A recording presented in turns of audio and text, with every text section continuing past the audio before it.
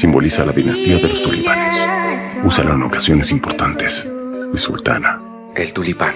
Este es nuestro símbolo. Solo los miembros de nuestra familia pueden usarlo. Y ahora tú. Il.